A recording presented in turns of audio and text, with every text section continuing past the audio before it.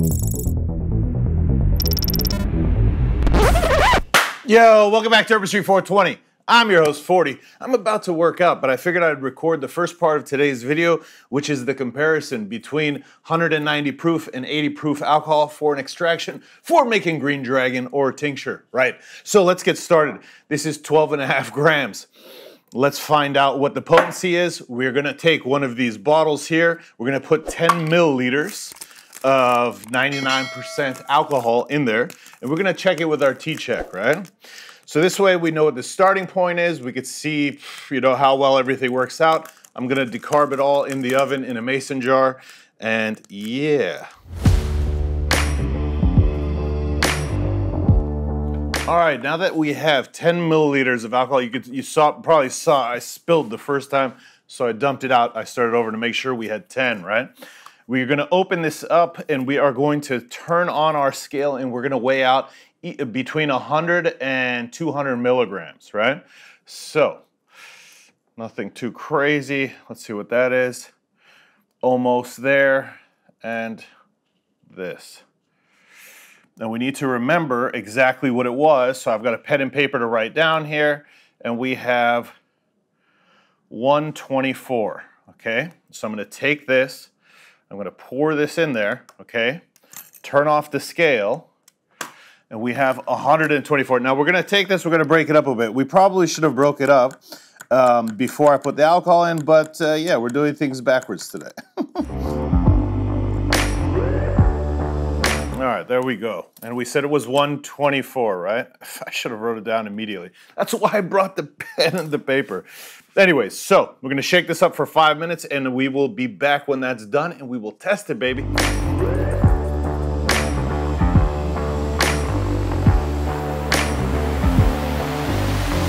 All right, so now we've shaken it for five minutes.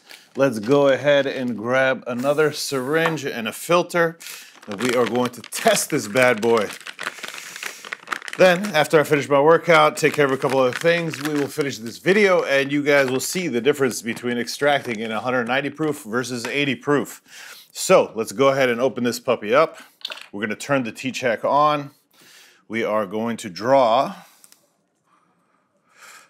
some liquid. I'm gonna put the filter on. We're gonna open up the tray. We're gonna drop in four or five drops. And I, I didn't set up the other camera for this because I have lots of T-check videos. If you wanna watch this process more closely, go ahead and check out one of the links. But I have tons of uh, T-check videos already. So I'm gonna put the top here on. We're gonna open up our phone, open up the app.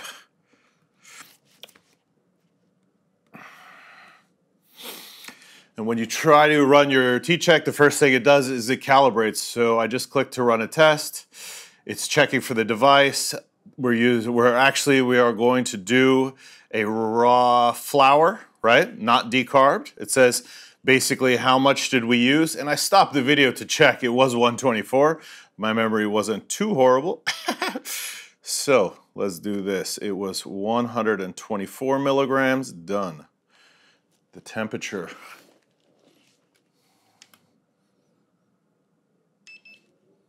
78 degrees. It is hot. Flower type, yep. THCA, begin test. It's going to ask if the slot's empty. It is. After it does, does this calibration, you put it in the slot, it's going to give us what the THC percentage is of this flower, right? Uh, my thought is it's like between 19 and 21%. So, but we'll, we'll see, huh?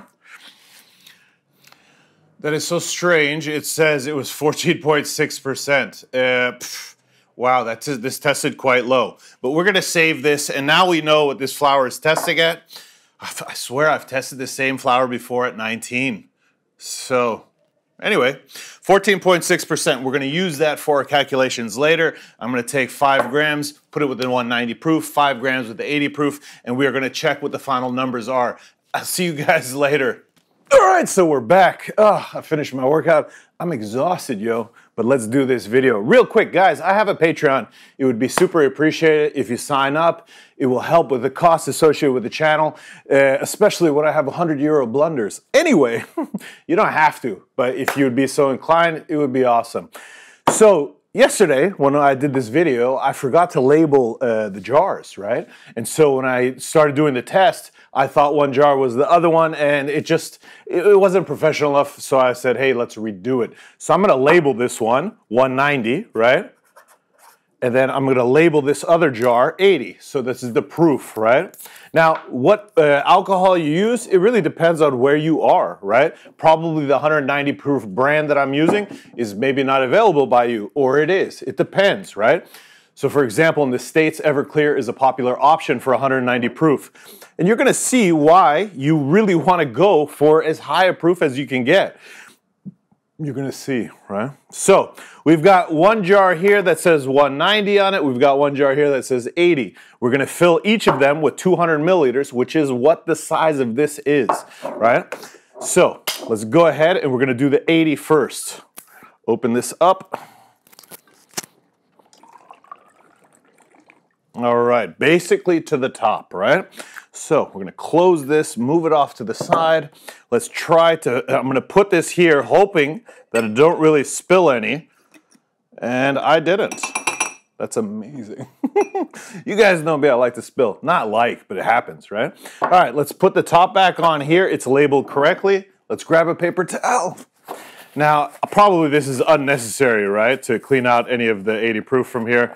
I don't think it would really change the numbers, but pff, we're gonna do it anyway. We're trying to keep this as scientific as possible. We're gonna open up this jar, this is the 190, and we are going to take 200 milliliters of this. All right, that's filled to the top. We're gonna move this off to the side. All right. So we're gonna take this and let's try not to spill again. All right, put this over. Wow, that is definitely a good technique. So, all right, now that both of these are filled with 200 milliliters, we are going to weigh them on this scale here. Now I have another camera here. We'll open up the scale. We're gonna turn the scale on, right? Well, first we'll do this one. Now another thing that I messed up with in the video yesterday is I decarbed 10.15 grams and it ended up being less than, uh, less than 10 grams after the decarb. So I suppose maybe there was some moisture, I don't know. And, but this time I decarbed a little over 12 grams, so we should be good to go. So I'm gonna put this on here. In fact, I'm gonna put four and a half grams in each first and make sure we still have enough, right, to go to five. So we're gonna put this right here. We're gonna tear this out. And now that it's teared out, we'll just start dropping in some cannabis, right? So right now we're reading 0.73.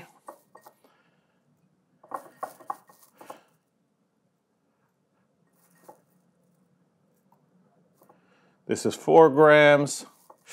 Let's put something smaller because we can't take away. That's 4.4. This is 4.97. So something pretty small maybe will take us to five. Actually, I said this is 5.04. I said we were going to put 4.5. I hope I didn't screw up again. This is 5.03. So I'm going to move this off to the side. And I'm going to write on this piece of paper 5.03 and we're gonna aim to put 5.03 in the other one, right? So let's put the top on, turn it. This is the 80 proof. We're gonna put this on. We're gonna tear this out. Okay, and we're going to start breaking stuff up and putting it in there. So that's 0.8. This three, 5.02. So 0.01 difference. I don't want to mess with it and try to get that 0.01 because maybe I don't get it, whatever, right? So I'm going to close this puppy up. We're going to move this out of the way. There's still a little bit of decarb weed in there, and that is fine. Rather than trying to use it, it's more important to me that these are uh, as close as possible, which they are. Off by a, a hundredth of a, a point is nothing, right? So I'm going to close this up. And now what I'm gonna do is I'm gonna shake these puppies for 10 minutes. I'm gonna attempt to do it in the one in each hand. It's gonna be super exhausting. I need to grab my phone to set a timer. And so I will fast forward this stuff in post and we will be back after I've shaken them for 10 minutes. Oh, all right. Oh my goodness. So I took two short little breaks. Oh, my forearms, oh, are on fire right now. Number one, I did this yesterday. Number two, it just doesn't go good with working out. so I'm gonna add one more minute because I took two short breaks in there, and yeah.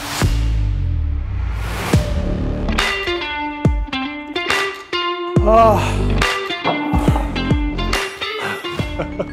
what a workout, huh? No joke. My forearms are on fire. Uh, anyway, one of the things that you'll notice, let me put this in front of the other camera, you can look. Uh, one of the liquids is much clearer than the other in the sense that there's foaming happening on this one. You'll notice that the weed sits on top on this one, whereas this one, it floats to the bottom. And the difference is uh, this is the 80 proof, which means it's 40% alcohol, it's 60% water. This is 95% uh, alcohol, 5% water. So this is almost all alcohol, whereas this has quite a bit of water, which of course changes the interactions inside the, the jar with the, the cannabis and so forth, right? So just another quick shake. Oof, my forearms, yo. Anyways, I recommend just doing one of these at a time maybe and having a friend there so you can like take a break. So we're gonna take two syringes. These are one milliliter uh, syringes and the reason we're taking two is this way we don't contaminate the two. I've got two filters left, perfect. So we're gonna open this up. We're gonna take the two filters out. Each one of these is gonna get a filter. Now we're gonna test one and after we test it, I have to go wash the tray and come back. So first things first, let's test the 80 proof, right? So I'm gonna bring the T-check over here. I'm gonna bring the tray right here. I'm gonna open this up, right? We can move this out of the way and we are going to open this. Then you're going to say to yourself, wait, why aren't you straining it? I will.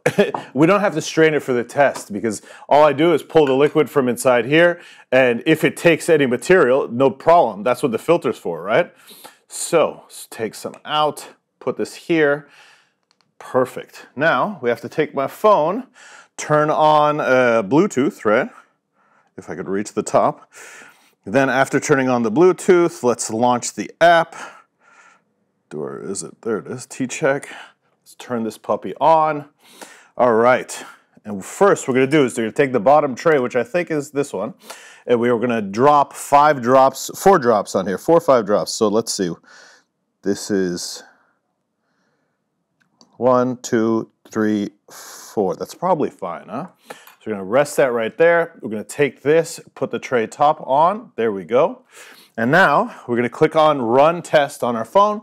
It sees the T-check. We'll move this right here. And right now it says it's checking the device. I did update the firmware. Yesterday it gave me the thing saying, hey, update your firmware, right? I did. So we're doing decarb flower infusion, selecting alcohol. We need to know the temperature. I'm gonna take this right here. This is one of those uh, laser thermometer thingies and it says it's 77.7 degrees in the house. So I'm gonna put 78 on the phone. It feels like 100 degrees. Ugh. So after we put 78, we're gonna say begin test. It says make sure the slot's empty because it's gonna calibrate. So we're not gonna touch anything right now. We're gonna take one paper towel to wipe some of the sweat. I mean, this was a workout, yeah. anyway, we're gonna move the syringe and the filter there. We're gonna put this on over the top and we will strain it after this video. And when we strain it, uh, after we do that, I'm probably going to evaporate everything and then just use uh, make FECO out of these two. Because I would never make tincture this week. All right, so it says it's uh, done its little check, its calibration. We're going to put the tray in. We're going to say OK. And let's see what it says, huh? This is, remember, this is the 80 proof, right? And again, it doesn't matter if what brand uh, you use, whether, and in fact, whether you use vodka or rum or whatever, you could use other liquors too. Thing is with vodka, it's clear, easy, whatever.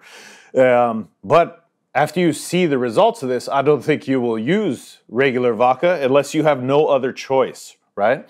Now remember, I shook these for the same amount of time we haven't done a, uh, looked at scientific edibles to see what it should be, but this says it's 2.2 milligrams per milliliter, right?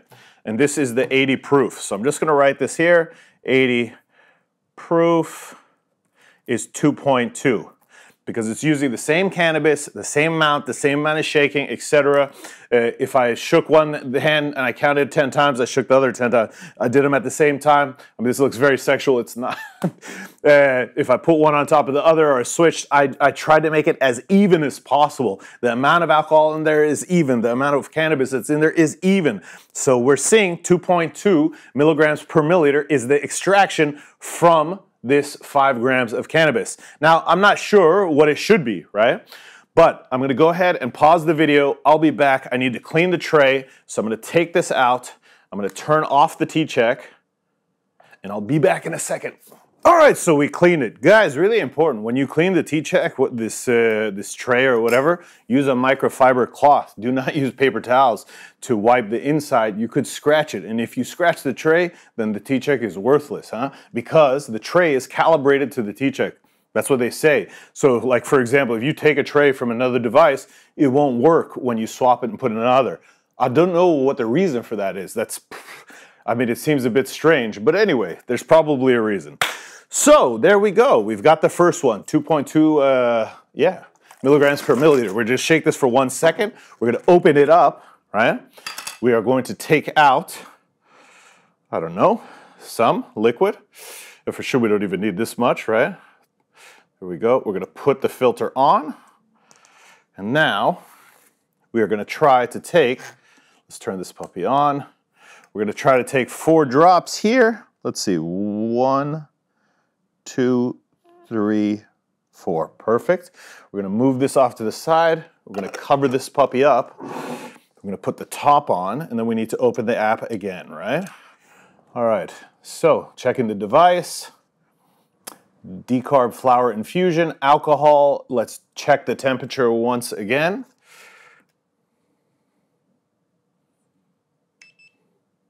It says 76 now. Interesting. Interessante. All right, 76. Go ahead and press done. We're going to say begin test. It asks if it's empty because it's going to do the calibration. And yes, let's see. What do you guys think? If you're watching the video, what do you think the difference will be? If we got 2.2 milligrams for the 80 proof, this is more than double the proof. So you think it will be more than double the reading? I don't know, right? Well, I mean, I do know, but what do you think? Get now's the time to guess, baby, before you actually know the answer. And if you're right, give yourself on the back and smoke an extra joint tonight. Just kidding. That's not medical advice. Don't do what I do. Or, yeah, anyway, it says insert the tray into the device. We're to say okay. And now the countdown begins. Let's see if you guys are right. What did you guess? I'm to guess and I'm to say 5.3 or 5.4. I do think it's to be double at least. I'm showing you guys on the other camera. I can't see. What is it? 4.9. Well, uh, yes, more than double, right?